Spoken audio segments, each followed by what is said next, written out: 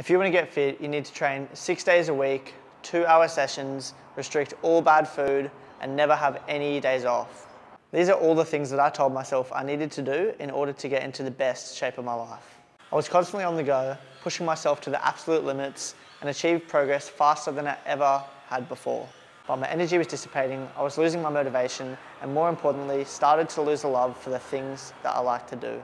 It hit me hard. The burnout was real, I was finding it hard to get out of bed in the mornings. I knew I needed to make a change and find a better balance between work and well-being. I started prioritising my sleep, my recovery, taking days off when I need it. Now this made all the difference. I started achieving more in less time, I was feeling less stressed, more energy, and more importantly, I started to fall in love with the things that I like to do again.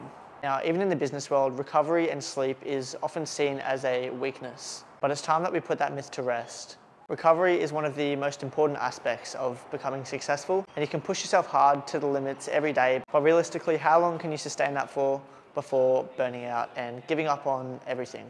This is why it's important to find your balance. It's not going to be the same for everyone. You just need to find something that's going to work for you and something that you can stick to for a long period of time. At the end of the day, fitness is not an overnight fix. It's going to be the choices that you make every day for the rest of your life which dictate your overall health and well-being.